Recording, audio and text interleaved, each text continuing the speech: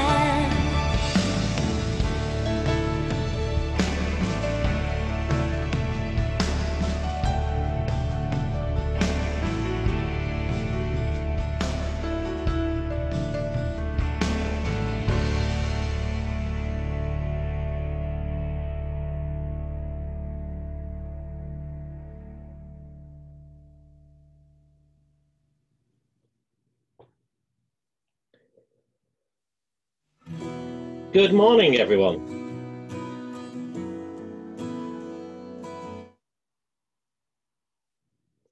Good morning, everyone. Good morning, Jeff. Hi, Jeff. Welcome. Welcome to our Easter Morning, celebration. A happy Easter to you all. I hope you've not ate too many Easter eggs already. Nope. No, Till after no. the service. Later, later. It's our Easter celebration together. Gathered from across the plurality, Askham Bryan, Milton Percy, on this Easter Sunday in unusual, unprecedented, it's a, it's a word that's being bandied around a lot at the moment, situation. A few things I just want to mention before we uh, go on with our worship this morning. First of all, um, I hope that you all have in front of you or to hand uh, some bread or a cracker and a glass of wine or juice. This is for our communion, uh, which we'll do later. And uh, yes, it's not communion as we normally celebrate it, but it's better than not celebrating it. So uh, it's just a wonderful thing to do together, and we'll be doing it as in your households. So uh, you know, whether that's one or two or three or four or even more, you can share that together.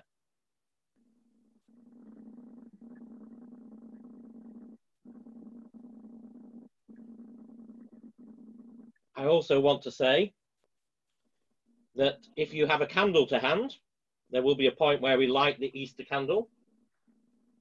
And um, I would ask you to do that at that point. Also, please look out for future services as we advertise them over this coming week. Things will be different going forwards. We're not sure how long we'll be in this situation of lockdown and uh, the restrictions that are, are that we're now facing. However, whatever happens, Jesus Christ is risen today. Alleluia.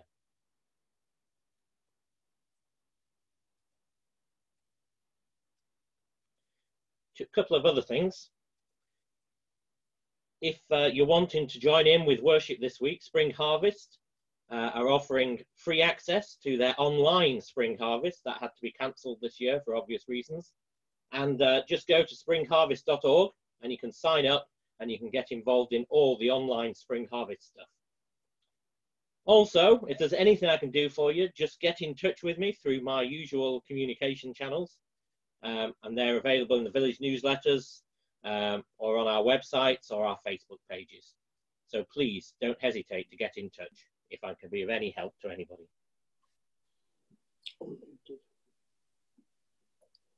So we turn to our liturgy.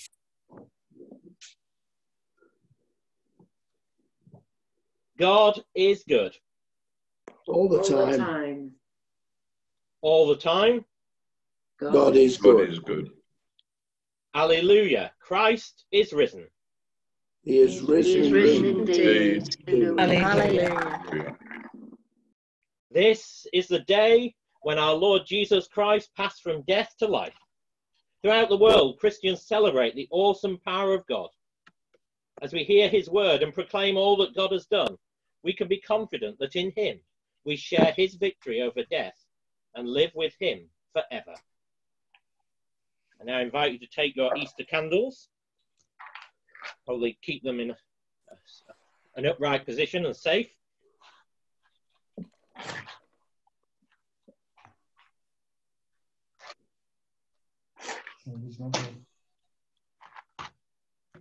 So this is my candle, which I've uh, borrowed from our church. Ooh. and I will light it. About see it at the bottom of the screen.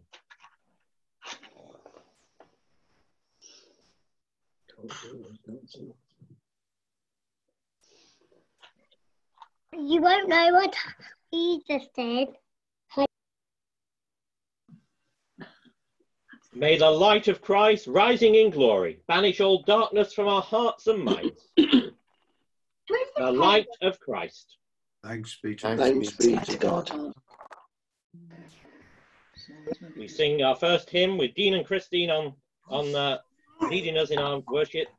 Jesus Christ is risen today.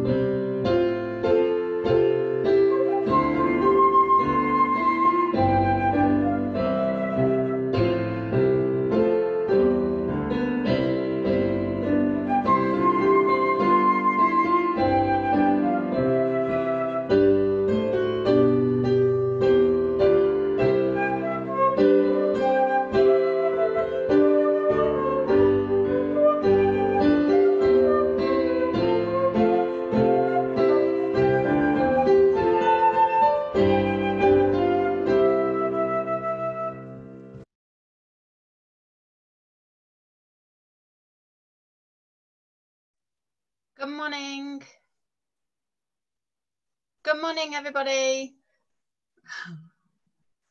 Good morning, everybody. Happy Morning. Easter. Today we're going to do the sign of peace from the happiness of our, our safe little homes. So we're going to do the British Sign Language sign of peace, which is like two little doves coming together. So everybody's got to do the sign of peace like this. Ah, yay! The risen Christ came and stood amongst his disciples and said, Peace be with you. Then they were glad when they saw the Lord. Alleluia. The peace of the Lord be always with you and also with you. Also with you.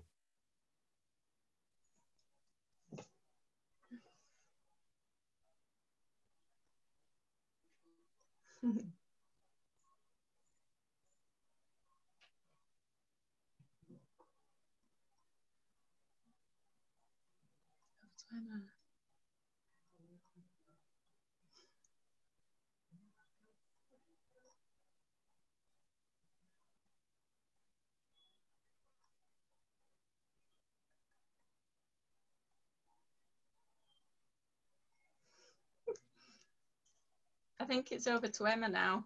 Emma. It is. It's lovely to see everybody.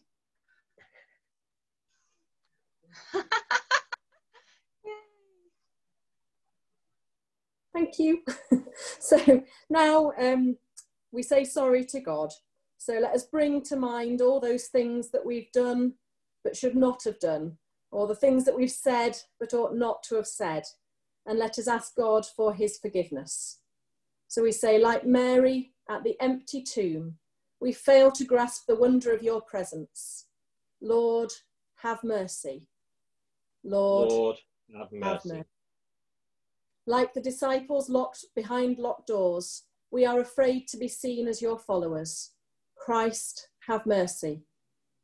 Christ, have mercy. Like Thomas in the upper room, we are slow to believe. Lord, have mercy. Lord, have mercy. May Almighty God forgive us our sins, cleanse us from all unrighteousness, and fill us with joy and hope this Easter tide. In the name of the Father, the Son, and the Holy Spirit. Amen.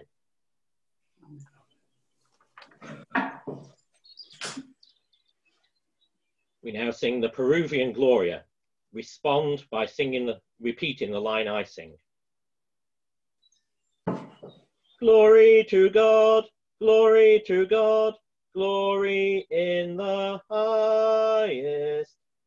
Glory to God, glory to God, glory in the highest. To God be glory and honor, To God be glory and honor. Alleluia, Amen, Hallelujah, Amen. Alleluia, Amen.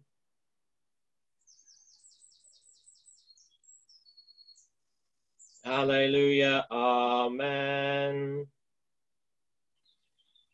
Glory to God, glory to God, glory in the highest. Glory to God, glory to God, glory in the highest. To God be glory forever. To God be glory forever.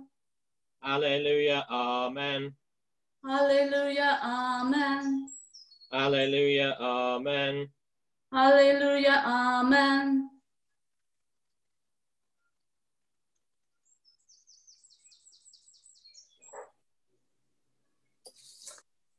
Hello. So, um, if I don't know you, my name's Emma, and um, I live and worship in Askham Bryan. And Jess just asked me to share a little bit of what we've been doing with the families and the children in the village this week. Um, so, like many churches, under normal circumstances, we'd have been busy gathering together, holding messy church, celebrating with a brunch on Good Friday, and of course, worshipping together in person today. But as we know, that hasn't been possible. So we responded by working out how we could take Messy, Messy Church and Holy Week into the homes of our families. Um, and we put together Holy Week in a bag um, and delivered it to those families that wanted to pick up a bag a week ago today, launching on Palm Sunday. Um, so it was amazing, really, how much craft material we could gather.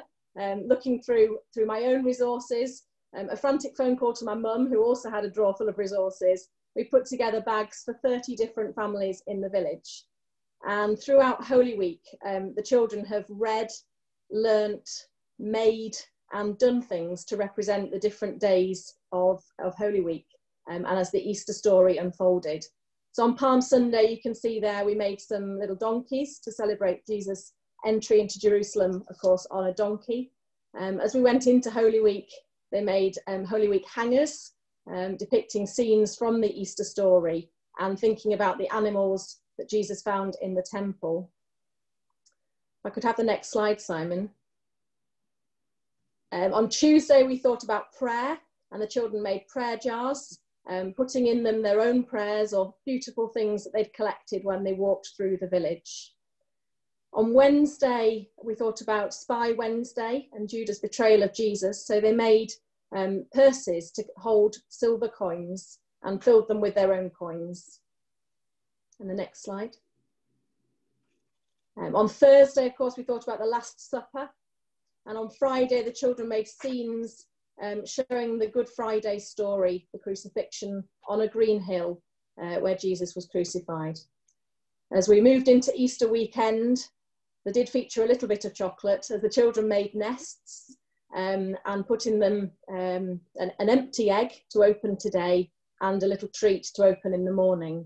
Uh, the children have also, hopefully this morning, looked in those nests and seen, of course, that there's nothing in the big egg, um, just as the, the stone in front of that tomb that they put on, on their Good Friday scene has been rolled away uh, because, of course, he is risen on this Easter morning. So as, as we go into Easter Day, the children have made a card to deliver to a neighbour and also coloured in an Easter egg to display in a window. So if you live in Askham Bryan and you're going for a walk through the village, see how many of these eggs you can see in windows or maybe you are the neighbour of one of these children and you may receive a card through your door. Either way, it's given us a chance to share the Easter story and to be with families when we couldn't be together. During perhaps the strangest of Holy Weeks, we've had a chance to share with them some of the hope and the joy of the Easter story.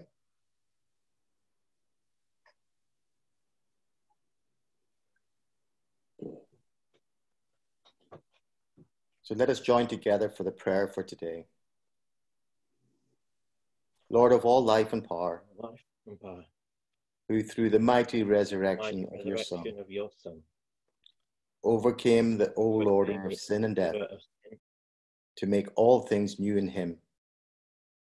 Grant that we, being dead to sin and alive to you in Jesus Christ, may reign with him in glory, to whom with you and the Holy Spirit be praise and honor, glory and might, now and in all eternity. Amen. Amen.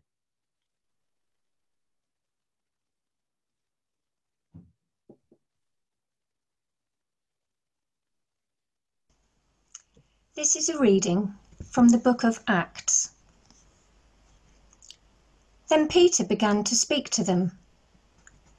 I truly understand that God shows no partiality. But in any every nation, anyone who fears him and does what is right is acceptable to him. You know the message he sent to the people of Israel, preaching peace by Jesus Christ. He is Lord of all. That message spread throughout Judea, beginning in Galilee after the baptism that John announced how God anointed Jesus of Nazareth with the Holy Spirit and with power, how he went about doing good and healing all who were oppressed by the devil, for God was with him. We are witnesses to all that he did, both in Judea and in Jerusalem. They put him to death by hanging him on a tree. But God raised him on the third day and allowed him to appear, not to all the people, but to us who were chosen by God as witnesses, and who ate and drank with him after he rose from the dead. He commanded us to preach to the people and to testify that he is the one ordained by God as the judge of the living and the dead. All the prophets testify about him that everyone who believes in him receives forgiveness of sins through his name.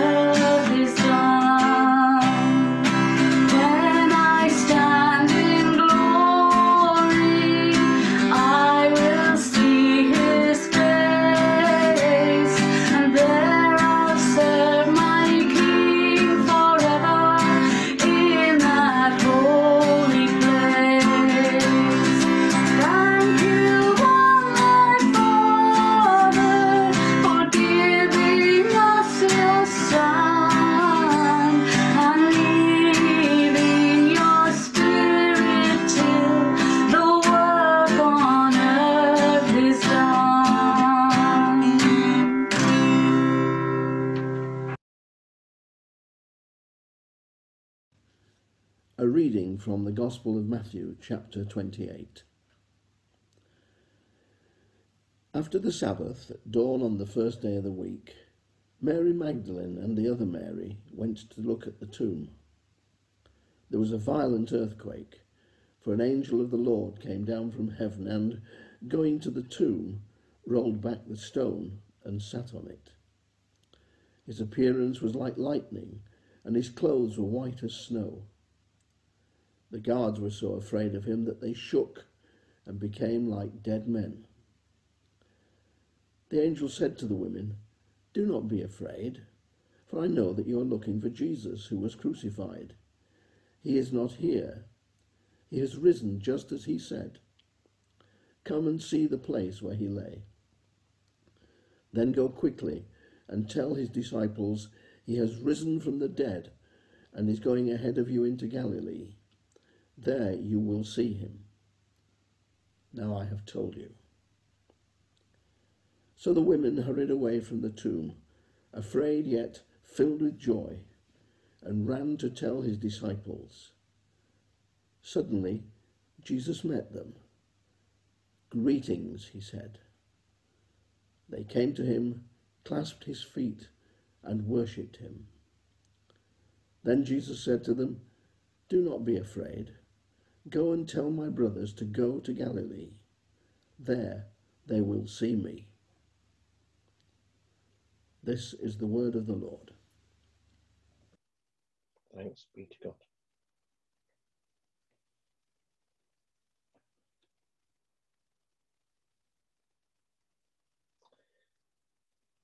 Well, it's been a peculiar and strange week. It's been a peculiar and strange few weeks. Life seems to have just thrown everything at us as a, as a world, as a nation, as a community. And we as Christians have been have, ta- have taken away our opportunity to gather in person to worship. Of course, we make do. We've uh, we do things online. We telephone each other. We uh, send each other messages. We encourage one another in that way. But the whole sense of church community has become a little strange. And we probably have been feeling a little anxious about what is going to happen. We're feeling a bit anxious about what the future holds. Who's going to next get COVID 19? Is it some, going to be someone we love? People have lost loved ones. It's been a horrendous time. And our losses are, no, are real no matter what our age. For instance, young people have missed their opportunity to sit exams, and that throws their whole future into the air. Holidays, conferences, and family gatherings have all been cancelled. Wedding plans have been thrown into turmoil. Well, think of all those hours of planning and scheduling and spending money. And sometimes the security of our jobs, our businesses, have been thrown in the air. Everything seems to have become very precarious, and we need to be grateful and thankful for the things that we have. Let's just pray. Heavenly Father, we pray that you would take away any anxious thoughts, any struggles we're facing, and enable us to focus on you on this day when you have risen from the dead, and we celebrate that, the real, true hope that we have. In Jesus' name, Amen. There's a general sense through Holy Week of things becoming harder for Jesus. And on Good Friday, we all feel that sadness because Jesus has died. The disciples' hopes and plans and excitement have all been dashed. And in a way, that sounds a bit like us. Our plans have been dashed. Everything we've been planning to do this weekend suddenly can't happen. A lot of the things that we see at Easter, like eggs and bunnies and chickens, go back to people who celebrated springtime traditions. But what is the true meaning of Easter? Well, Easter celebrates when Jesus Christ, the only Son of God, came down to earth to show us how God intended us to live.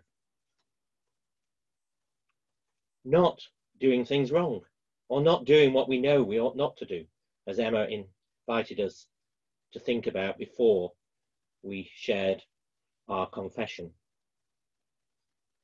Jesus came and lived here on earth just like us, except he lived a perfect life, the way that God would like us to live life. Then he died on a cross as an innocent man, paying the price, taking the punishment that we deserve for not living as God would like us to. You see, when we do something wrong, we expect to be punished. Not that any of you, of course, would do anything wrong, ever, surely.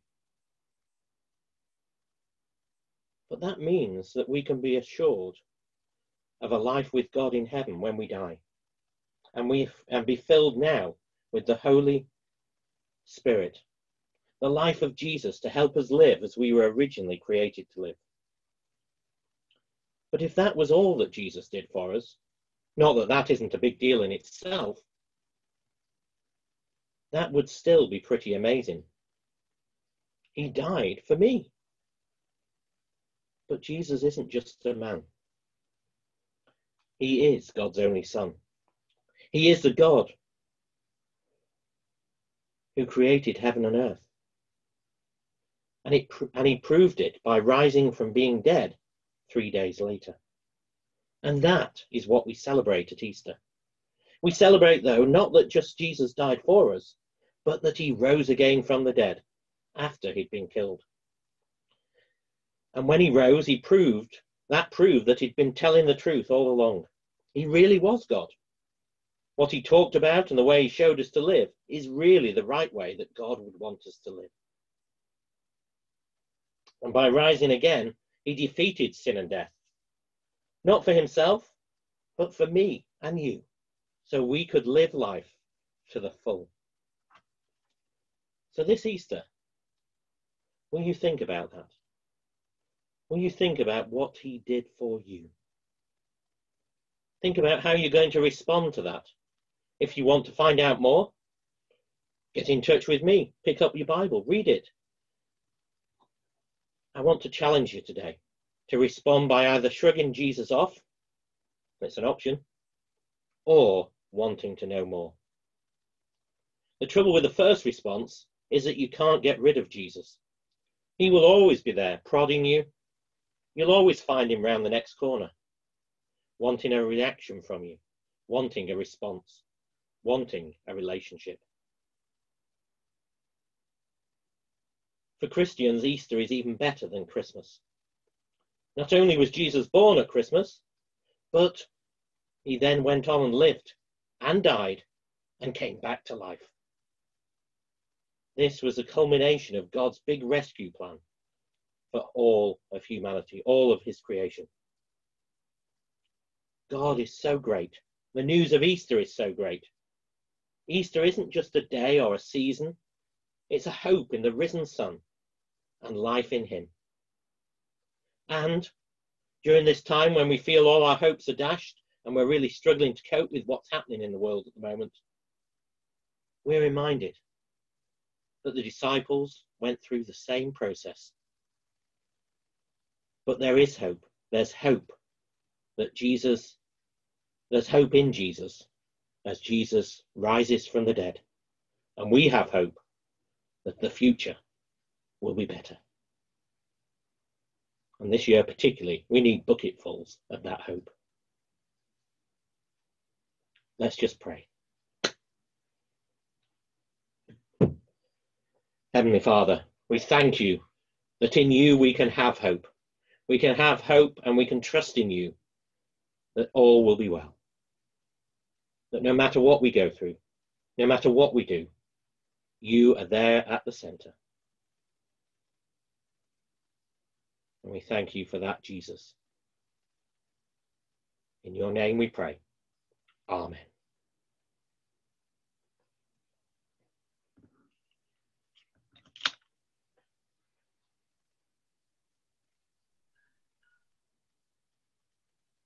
Taken from 1 Corinthians chapter 15, verses 3 to 7. Let us declare our faith in the resurrection of our Lord Jesus Christ. Christ died for our sins. for our sins. In accordance, In accordance with the scriptures, he was buried. Was- He was raised to life on the third day in accordance with the scriptures. Afterwards, he appeared to his followers and to all the apostles. This we have received, and this we believe. Amen.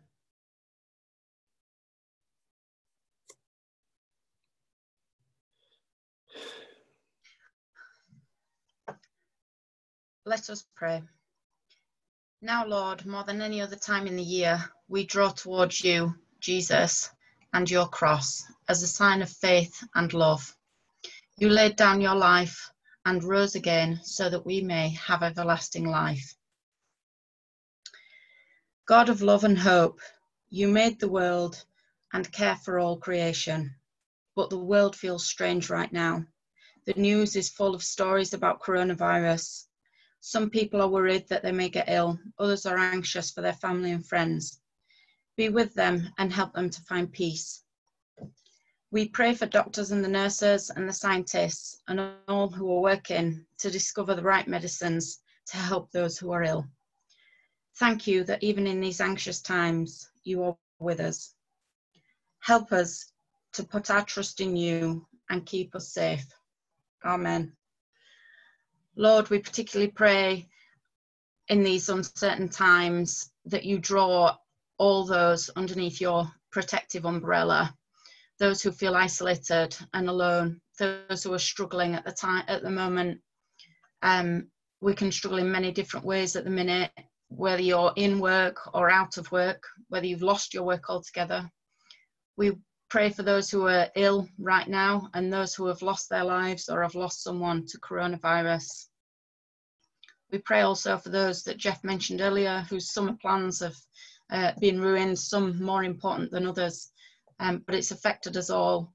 And especially, I pray for those who, who are worried right now for our children, um, because this is a frightening time for those as well. I would like everyone to focus on your candle. I've got mine here if you haven't got a candle. Um, because in this time, there is always light. In the darkness, there is always lightness because Jesus is always there. Um, and think of something that you can be thankful for at this time. I want everyone to just take a moment and we'll just all be quiet to think of one thing at least that you can be thankful for, whether it's for help, whether it's connecting to a neighbour. Oh, my candle's gone out. Gosh, what a moment. Um, whether it's connecting to a neighbour or the children's signs that you've seen around the village, whatever it is, there is something to be thankful for.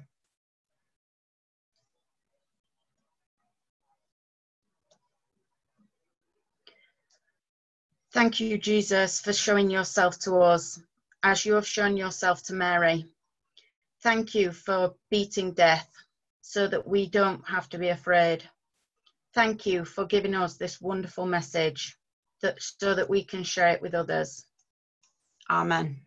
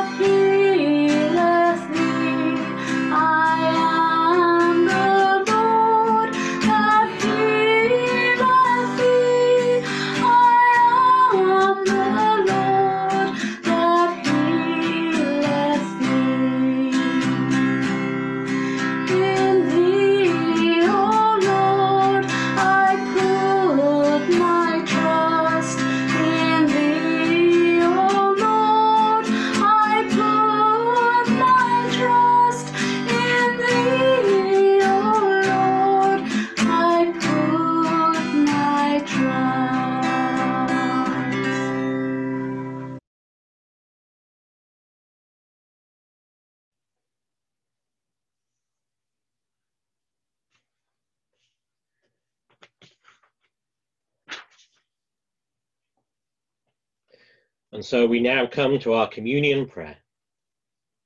Please respond with the responses in bold type on the screen. The Lord is here. His Spirit is with us. Lift up your hearts. We lift them to the Lord. Let us give thanks to the Lord our God. It is right to give thanks and praise. It is right to praise you, Father, Lord of all creation. In your love, you made us for yourself. When we turned away, you did not reject us, but came to meet us in your Son. You embraced us as, As your children and welcomed us to sit and eat with you. eat with you. In Christ, you shared our life, that we might live in him and he in us. He opened his arms of love upon the cross upon the cross. and made for all the made perfect for all sacrifice the for perfect sin. sacrifice for sin. On the night he was betrayed, at supper with his friends, he took bread and gave you thanks. He broke it and gave it to them, saying, Take, eat. This is my body, which is given for you. Do this in remembrance of me. Father, we do this in remembrance of him. His body is the bread of life. At the end of supper, taking the cup of wine, he gave you thanks and said, Drink this, all of you. This is my blood of the new covenant, which is shed for you for the forgiveness of sins. Do this in remembrance of me. Father, we do this in remembrance of him. His blood is shed for all. As we proclaim his death and celebrate his rising in glory, send your Holy Spirit that this bread and wine may be to us the body and blood of your dear Son. As we eat and drink these holy gifts, make us one in Christ, our risen Lord. With your whole church throughout the world, we offer you this sacrifice of praise and lift our voice to join the eternal song of heaven. Holy, holy, Holy, holy, holy, Lord. holy Lord, God God. of power and might, heaven and earth. and earth, all of your glory. all of your glory. Hosanna. Hosanna in the highest. Amen. Amen. Let us pray as our Saviour has taught us. Our Father in heaven, hallowed be your name. Your kingdom come, your will be done, on earth as in heaven. Give us today our daily bread. Forgive us our sins, as we forgive those who sin against us. Lead us not into temptation, but deliver us from evil. For the kingdom, the power, the glory are um, yours, now and forever. Amen.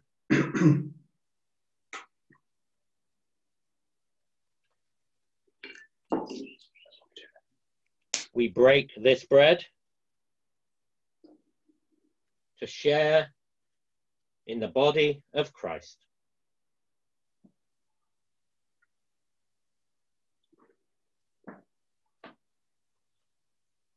Though we are many, we are one body because we all share in one bread. I invite you now to share communion in your own homes, with your own household, sharing it with one another, remembering that Jesus died on the cross. He defeated death by rising again, and we can live in that glory today.